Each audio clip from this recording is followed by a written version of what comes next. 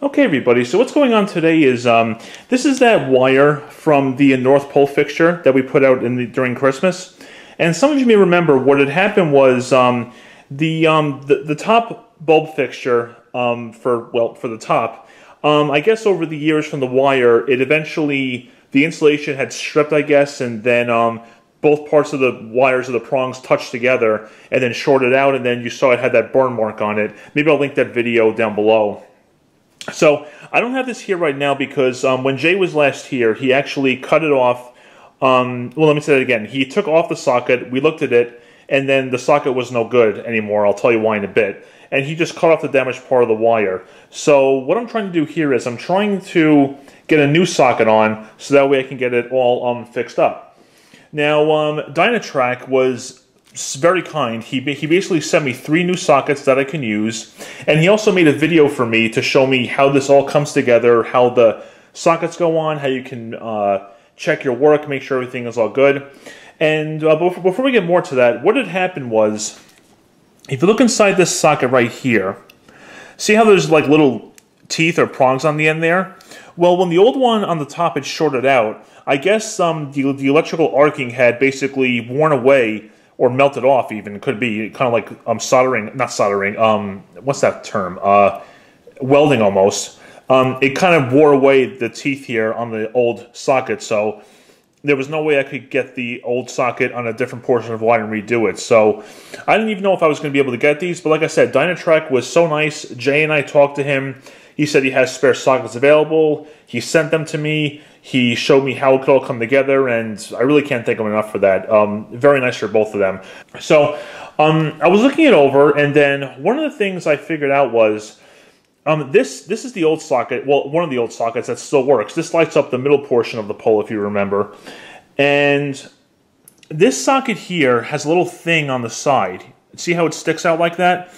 Basically, the way the old socket worked was the end of the wire, which which looked like this even before it was cut, it basically slid up into this side of the socket here, and then you just bend the wire and prong it to the wire accordingly.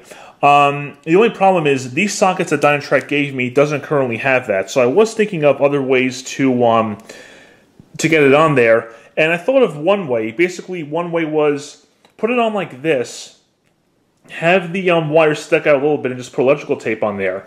But then I actually talked to Jay, and he had an interesting idea maybe I could take this socket off, move it up to here, and have this wire go into the side like the old one did. Uh, sorry, there go. And the old one did. I thought, you know what, that's actually not a bad idea. Maybe I'm gonna, maybe I'm going to go ahead and try that.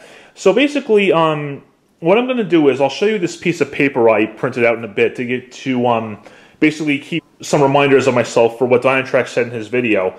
And we're going to see where it goes from there. So right now the plan is I'm going to take this socket off move it up to here, and see if I can put one of these sockets exactly in its place. If I can't put it exactly in its place, then I have an idea.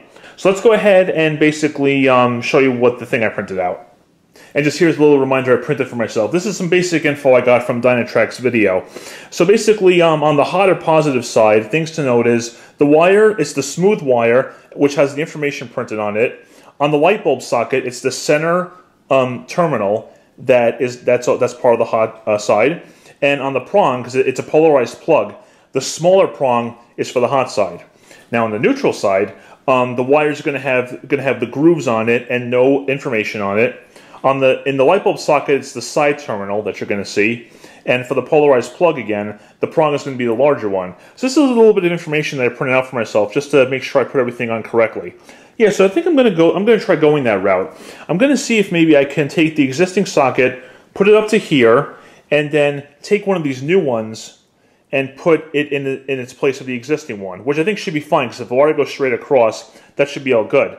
And um, th th this um, this fixture of the, the, North Pole is actually very um, resistant to weather because first of all, it's enclosed all in plastic, and when you put the top piece on the fixture that says North Pole, there's no way for any water to get on or inside of there, and no way for this to get wet. And it's been in there for how many years now? And plus, it's only ever powered up during the night between December and January, so of the following year. So I mean, there's really no um, extended use on this thing, so it should be all fine.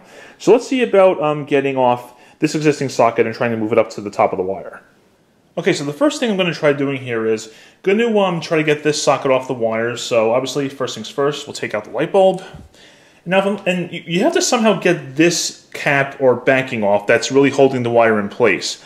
And if you actually look inside here, you can see there's two things, uh, let me get into focus here. See how there's two like white plastic tabs on top, above and below the um, positive terminal? So I'm going to see if maybe I can try to get those out a little bit with a screwdriver or something. So I have like a screwdriver here without damaging it, hopefully, because I want to reuse this socket. And uh, let me see. So if I put this in here like that, give it a push, because th this thing is in here very securely. Let me tell you that right now. That, that, that screwdriver might be a tad large. Let me try the smaller one here. Hmm. So that's the idea. I, I, I got to try to basically force this thing out of here. although actually no, I think it didn't. It looks like it moved a little bit. So I don't know. Oh, wow, okay. You know, guys, let me go ahead and do this off camera, see if I can get this to come out of here.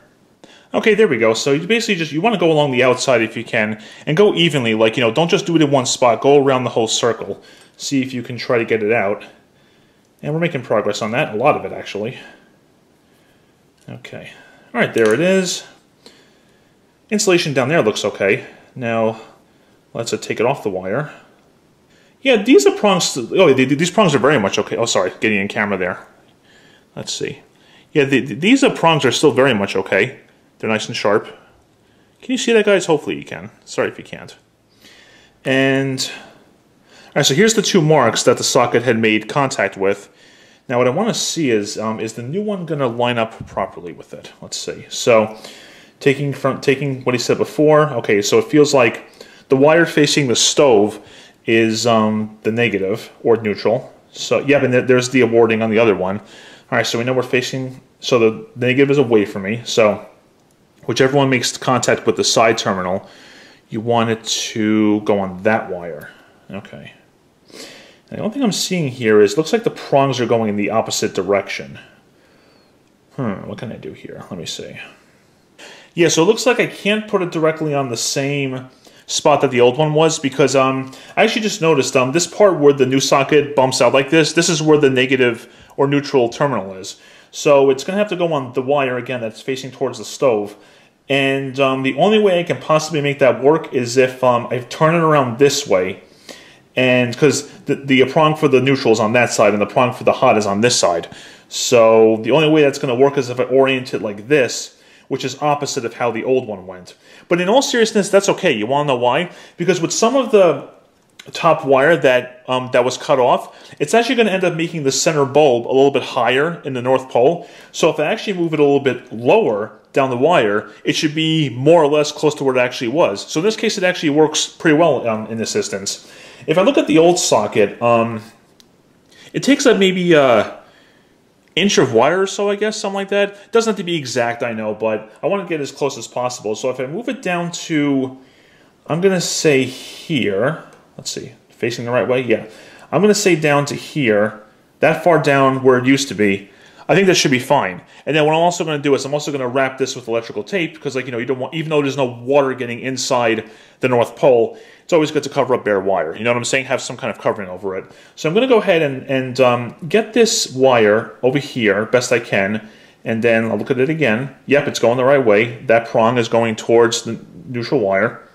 Probably going to put it on like that, a little bit further down.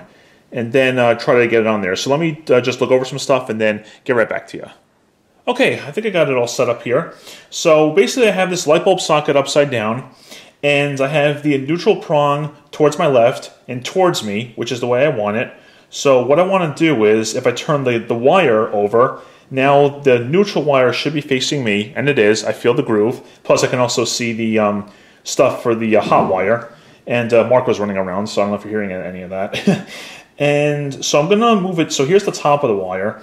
I'm going to head and move it down a little bit since it's going to be a little bit higher now. So here's the old marks, and we'll go down about maybe about there. I think that should be good. Right, let's see. Yeah, that, that, that looks pretty good. So right here, okay, I'm going to go ahead and Dynatrak says uses a, a, screwdriver to push it down a little bit, so I'm going to go ahead and do that. Okay. It should be piercing the wire right about now. That went in pretty well. All right, now we're going to go ahead and, um, let's see, yep. Yeah, I like how this is going.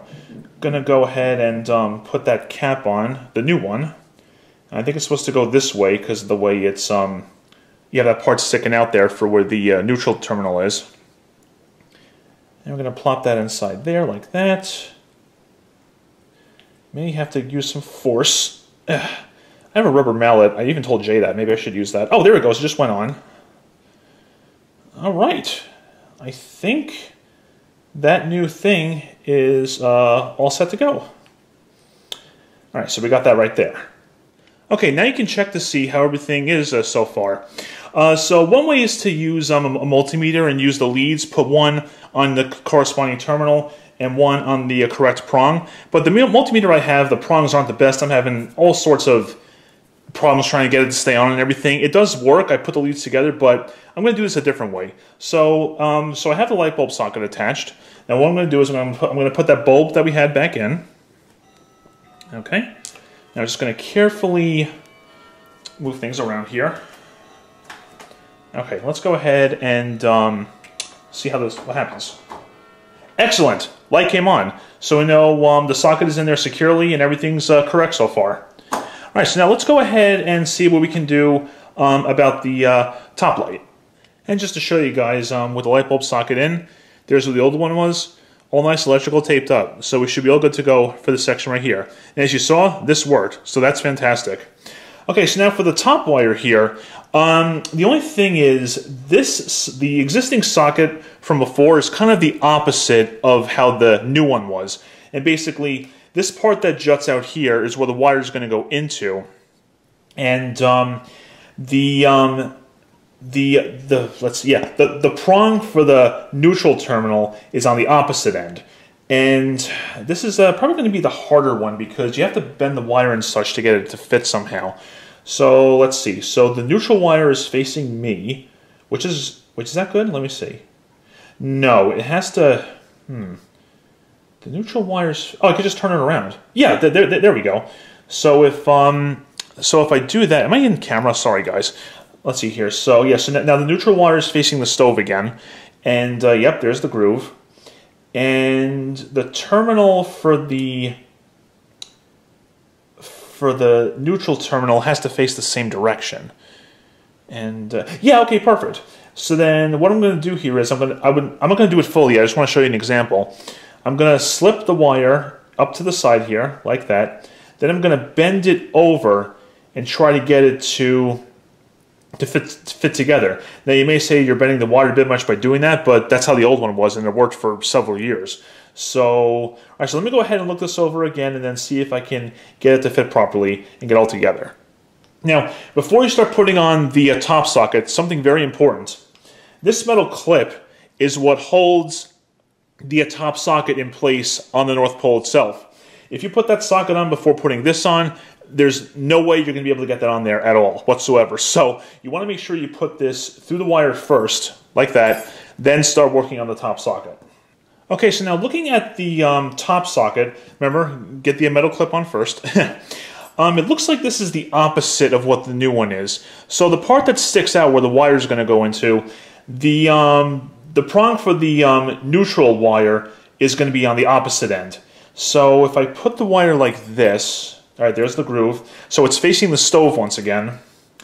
Now, let's see here. Uh, if I put this in there, yeah, perfect. So the prong for the neutral wire is also facing the stove as well, or towards it, I guess. Whatever, you get the idea. So I'm going to have to try to get this in here and then tightly bend it over and then get this back on here to hold it in place. I think I can easily do that, but just for a little bit of practice, let me just do this off camera, then I'll do the, and I'll do the whole process so you can see it then. Alright guys, I think I finally have it down pat, so um, we're going to go ahead and give this a try. So, yep, again, neutral wire is facing that way. And we want the prong for the neutral um, terminal facing that way as well. Uh, and it is. Yep, yeah, I can see the difference. Oh, okay. So, we're going to put the wire up along the side there. Like so. Nice and secure. Okay. And I basically have, to, I can turn this upside down, or not, actually I'm not going to do that yet. Still, wait a minute. Oh, that's right, because that's the neutral one right there, okay. Yep, there, there, there's the grooves. So, all right, now we're just going to tightly put it across here. Just like that. Okay, I think, whoop, I think they're pushing through. Good. Get the screwdriver like before. Oh, my hand's kind of in the way. Sorry about that. There we go. Okay. That's coming off. See? See?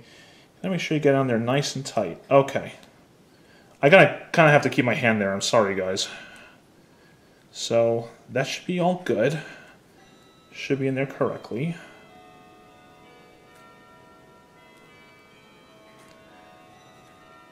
All right. Now we're going to go ahead and put that cap on. Just like that. Ugh, okay. May have to use a uh, rubber mallet or... Oh, no, actually it's on. Well, all right. I think the... Um, I think this thing is on properly. Yep. That should be all good. Well, I guess the only thing to do now is to um, put on, uh, put in the light bulb and see how it goes. So I'll put that other bulb back in the uh, new socket here. All right. And for the um, for the uh, new one, I bought some new uh, incandescent C7 bulbs. So go ahead and put one of those in there carefully. Of this packaging is always the hard part. there we go. All right, so let's go ahead and put this one in the uh, existing socket. Okay, let me make sure this is all um, in view here. Alrighty, let me get the plug. Make sure they're, they both in view? Yes, they are. Oh, jeez. See what I mean? How, how they like to flop around? And then plug it in. Oh my god, it works. that is just absolutely awesome to see. Oh man, it is so nice to see both of them working like that. Um, good, so we know that the work that we did was correct. Both light bulbs are on, no arcing or anything, of course. Um, nice steady glow, so I know the wires have a good connection. Oh, that is just so beautiful to see. All right, so we know that we did a job well done, and that is very nice to see. All right, so I guess what we can do now is we'll uh, go ahead and then reassemble this back into the uh, North Pole, and then we'll see how it looks all back together. And just so I'm fully honest with you guys, here's a little mistake that I made that I just fixed. When I had put this metal clip on before, on the wire, I had it the opposite way. So when I tried to put it on, the uh, clip the uh, the clips were facing up instead of down like they currently are like that. You see that? So a little mistake I made, but I figured, ah, but hey, I'll be honest and I'll be honest and I showed you that I fixed it. So what I had to do was I had to take the socket back off, take the clip off, reorient it, putting the clip back on, and then put the socket back on like so. But good news, I just tested it with the light bulb in there, plugged it in, light comes on perfectly. Prongs went back in where they were just before, everything's fine. So just make sure when this clip goes back on, these face down, like it currently is, okay? Little mistake, but easily fixed. Alright, let's go ahead and get this in the North Pole. Okay, here we go, brought inside the kitchen to test. You can see it's all back together. Uh, one, one thing I did do was I put the um, I put the newer bulb in the middle and the older bulb on the top because I figured if that one goes out first, which it should, but things can happen, it'll be easier to replace. So, and plus the older socket is on top too now, so hey, why not? All right, let's go ahead and plug this in and see how it looks.